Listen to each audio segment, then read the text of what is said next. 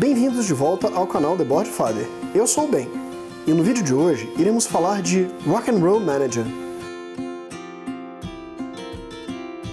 Em Rock and Roll Manager, os jogadores são agentes de bandas de rock tentando chegar no topo das paradas. As bandas disputam para ser as mais famosas de todos os tempos. Você conseguirá fazer a sua banda ser a banda mais famosa? Neste jogo de alocação de trabalhadores, os jogadores irão disputar para comprar os melhores equipamentos na loja, pegar o tempo de estúdio e ensaiar com a sua banda para fazer com que ela seja a melhor banda do planeta e tocar nos melhores festivais do mundo.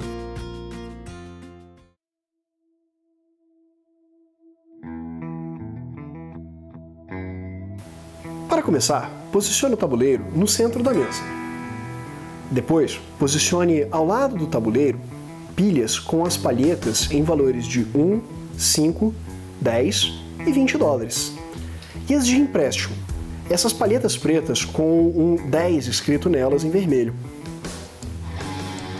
Posicione também as cartas de shows embaralhadas e separadas por temporadas.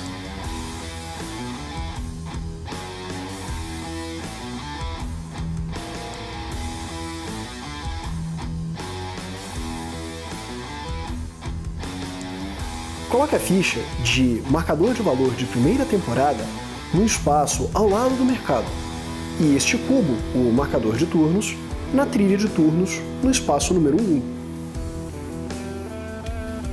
No mercado, embaralhe e disponha uma ficha de instrumento por espaço. Coloque o resto das fichas ao lado do tabuleiro, por hora ao alcance de todos os jogadores.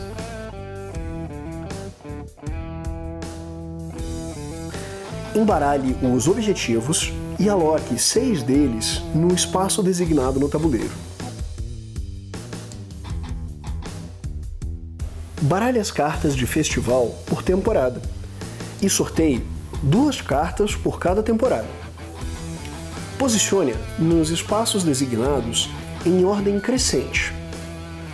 As cartas no espaço à esquerda são todas colocadas abertas, enquanto que as da direita são colocadas viradas para baixo, à exceção da primeira carta, ou seja, a da primeira temporada. Cada jogador escolhe para si uma banda e coleta os marcadores de agente da mesma cor, assim como os discos e os álbuns.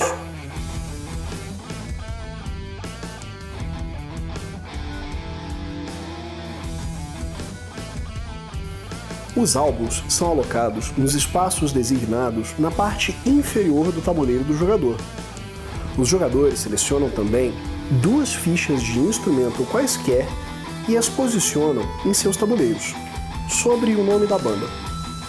Os jogadores não podem selecionar instrumentos com 2x e duas colorações, nem um instrumento que possuem dois marcadores já indicados em sua ficha. Por exemplo, a banda and Bases não poderia selecionar uma guitarra da cor azul escura, por já possuir duas guitarras em seu tabuleiro. Retorne todas as fichas restantes de instrumento para a sacola e deixe-a ao lado do tabuleiro.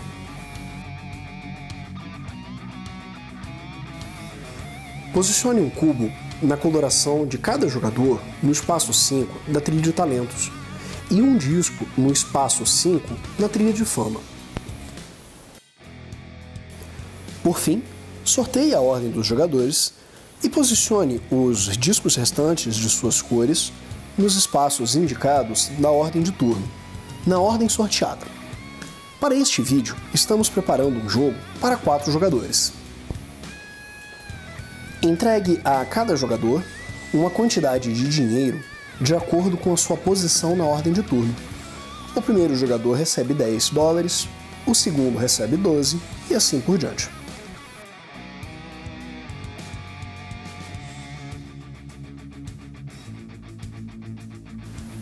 Em uma partida com menos de 4 jogadores, nem todos os espaços estarão disponíveis.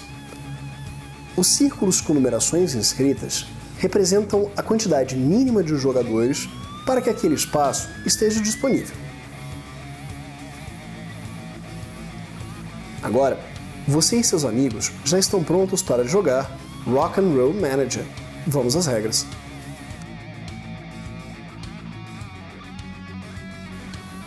A partida terá a duração de três temporadas, cada uma subdividida em três rodadas. Ao final da última rodada da última temporada, o jogo termina. Alternadamente, cada jogador irá posicionar o seu agente em um dos espaços disponíveis no tabuleiro. Cada espaço recebe apenas um único marcador por vez.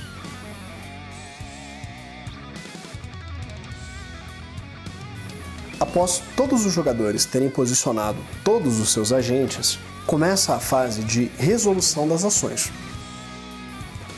Cada espaço será resolvido na ordem indicada no tabuleiro. A resolução dos agentes ocorre da esquerda para a direita e de cima para baixo. Após resolver um agente, retorne-o para o tabuleiro de seu dono. Loja. Neste espaço, os jogadores podem adquirir instrumentos de acordo com a tabela da temporada atual. O jogador verifica o espaço ocupado por seu agente e pode adquirir instrumentos que se encontram na mesma linha. O preço a ser pago por cada instrumento está indicado na linha à esquerda do agente. Para um instrumento, utiliza-se o primeiro número indicado, neste caso, um dólar. Para dois instrumentos, utiliza-se o segundo número, neste caso, 2 dólares. E para três instrumentos, o terceiro, neste caso, 4 dólares.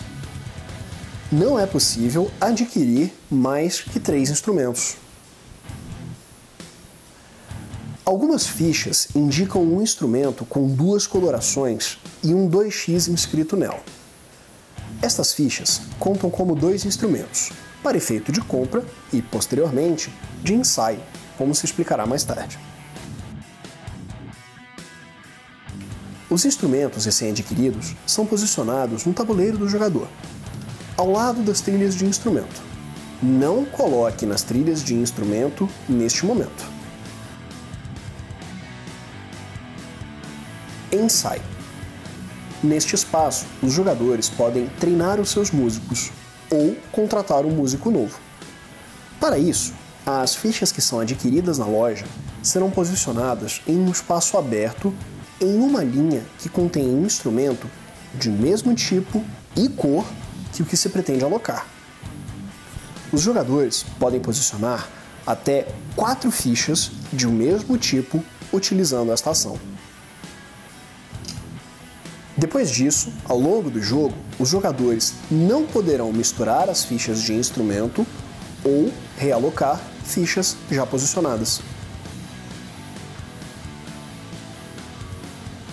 Por exemplo, o jogador da banda Southern Daisies seleciona o microfone roxo escuro e o aloca na primeira linha, onde ele já possui um microfone de mesma coloração. Ao alocar um instrumento, o jogador deve imediatamente avançar um espaço na trilha de talento. Note, no entanto, que as colunas 3 e 4 indicam que duas fichas devem ser posicionadas neste espaço para que o jogador possa avançar na trilha de talento. As fichas multicoloridas de instrumento, com 2x em sua face, podem ser alocadas em qualquer coluna exceto a primeira. Um músico novo não pode começar com este instrumento. Porém, elas sozinhas suprem a demanda das colunas 3 e 4, sendo melhor utilizadas nestes espaços. As fichas com alto-falante desenhado são coringas, podendo ser utilizadas no lugar de qualquer instrumento. Elas também não podem ser alocadas na primeira coluna, entretanto.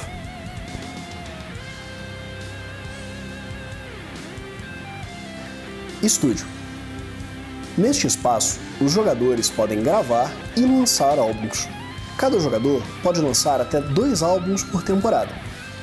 O jogador verifica o seu nível de talento e posiciona seu álbum no espaço correspondente indicado no Hit Parade. Imediatamente, o jogador recebe uma quantidade de pontos de fama demonstrado no espaço alocado.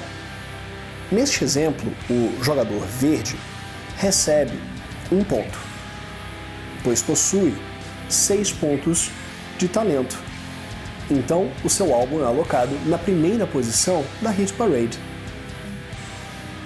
Mídia. Nesta área, os jogadores devem escolher uma das três opções disponíveis.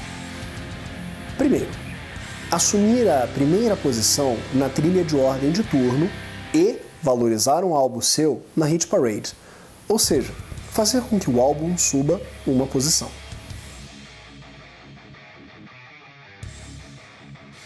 2. Receber um ponto de fama e aumentar um ponto na trilha de talento. Ou 3. Receber dinheiro. A quantia recebida varia de acordo com a temporada, sendo 7 dólares na primeira, 10 na segunda e 15 na terceira. Mais de um jogador pode selecionar a mesma opção. Shows.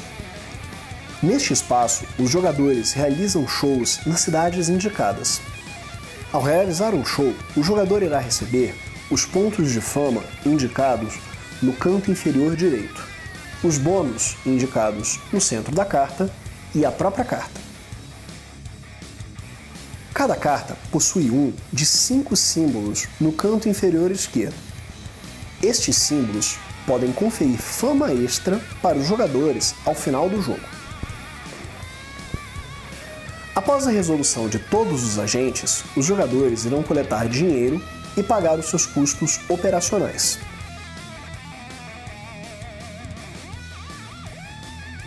A receita da banda equivale à soma da produção de seus álbuns, conforme indicado no Hit Parade, subtraído do valor total indicado na palheta abaixo do espaço de fama em que o marcador do jogador se encontra.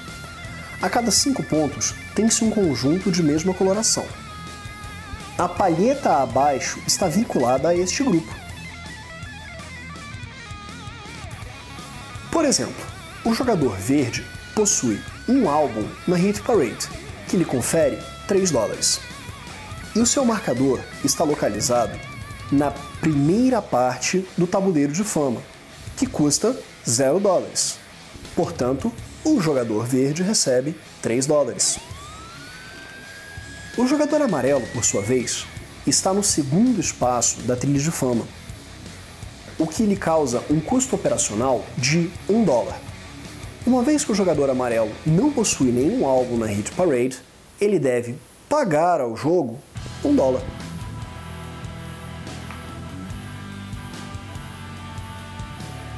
Após esta contagem, os álbuns são movidos um espaço para baixo na Hit Parade.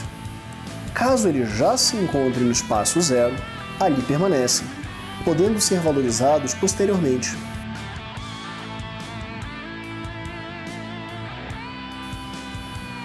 Empréstimo. Caso um jogador fique com um balanço negativo, isto é, ele precisa pagar para o jogo ao invés de receber, e ele não possuir dinheiro suficiente ele deverá pegar um empréstimo. Isso é representado pela palheta preta com a numeração 10 em vermelho. Na fase de coleta, os jogadores deverão pagar um dólar por cada empréstimo que possuam. A qualquer momento, o jogador poderá pedir um empréstimo ou mais, ou quitar um empréstimo ou mais. Para este segundo, basta que o jogador retorne 10 dólares mais os juros do turno corrente, ou seja, um dólar por cada turno. Ou, ao final do turno, na fase de pagamentos, o jogador pode pagar apenas 10 dólares.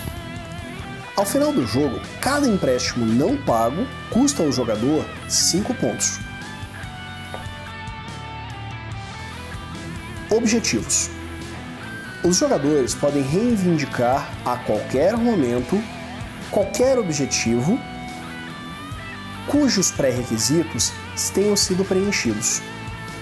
O objetivo é removido do tabuleiro e o jogador imediatamente recebe 5 pontos de fama. Uma temporada termina ao final de seu terceiro turno. Ocorre então a fase de festivais.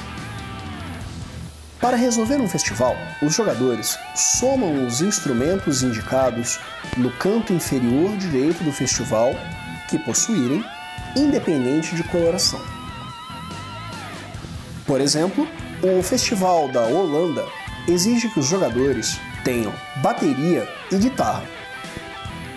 O jogador que possuir o maior nível daqueles instrumentos somados recebe a pontuação indicada no primeiro círculo. O jogador com a segunda maior quantidade recebe a segunda pontuação. E o terceiro jogador com a maior quantidade recebe a última pontuação.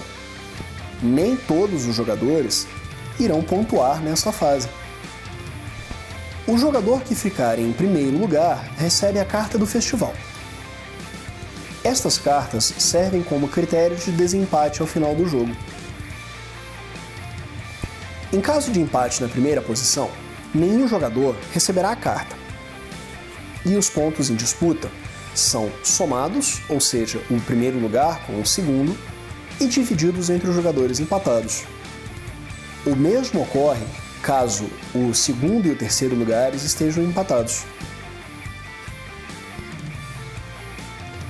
Ao final de um turno e antes do início do próximo, removem-se todos os shows que não foram tocados no tabuleiro e acrescentam-se quatro novos shows.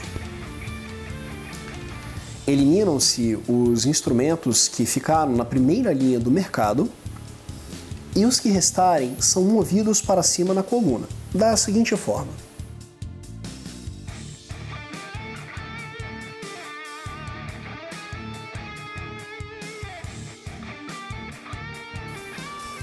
Ao final de uma temporada, a tabela de preços do mercado é substituída pela tabela da próxima temporada.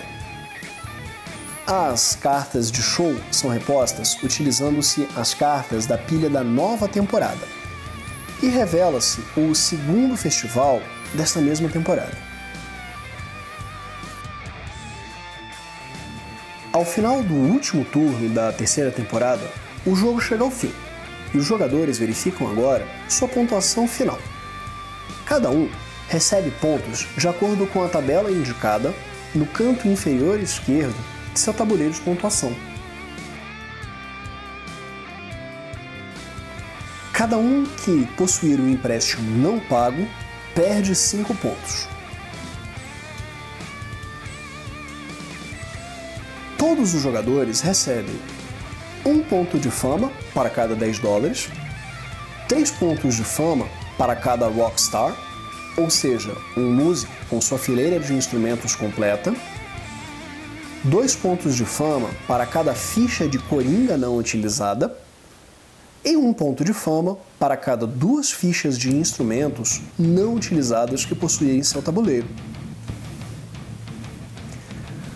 Também recebem 5 pontos os jogadores que cumprirem os seguintes objetivos: a banda que terminou com a maior quantidade de dinheiro, a banda que realizou mais shows, a banda que lançou mais álbuns, a banda que terminou com mais shows com símbolos diferentes, a banda que terminou com mais pontos na trilha de talento e a banda com o álbum mais valioso no Hit Parade neste momento. Em caso de empate, todas as bandas empatadas recebem a pontuação. A banda que possuir a maior quantidade de fama vence o jogo. Em caso de empate, a banda que possuir mais cartas de festivais é declarada a vencedora. Caso persista o empate, os dois jogadores empatados ganham o jogo. Neste vídeo, ensinamos a jogar Rock and Roll Manager por Leandro Pires. Se interessou? Deixe aqui o seu like e siga o nosso canal. Isso nos ajuda a manter o canal funcionando.